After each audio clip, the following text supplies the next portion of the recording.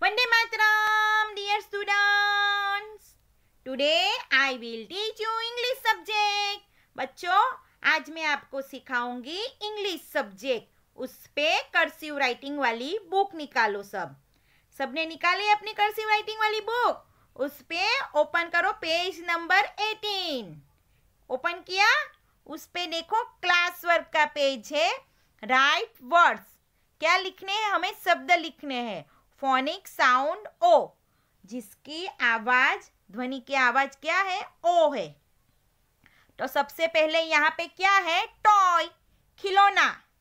तो लिखो T O Y toy T O Y toy हमें बोल बोल के धीरे धीरे अच्छी राइटिंग निकालनी है बच्चों।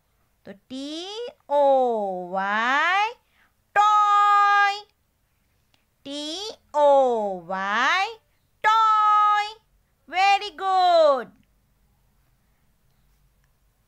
धीरे धीरे से अच्छे अक्षर निकालनी है, अच्छी राइटिंग निकालनी है हमें। और बोल बोल के भी लिखना है। सेकंड क्या है? बॉक्स पेटी, डिब्बा तो लिखो B O X box B O X box B O X box अब स्मॉल बी से लिखेंगे. B O X box B O X box B O X box हो गया कंप्लीट अब नीचे देखो, क्या है? Dog D O G dog कुत्ता। D O G dog D O G dog very good और स्मॉल डी से D O G dog D O G dog. O L D old बुढ़ा जो हमारे दादा है, बा है ग्रैंड मदर ग्रैंड फादर वो अब थोड़े बुढ़े हो गए ओल्ड हो गए हैं ओल्ड मैन तो यहाँ पे क्या आएँगे? old O L D O L D O L D O L D old. Small O से स्टार्ट करेंगे हम. O L D old O L D old complete हो गया?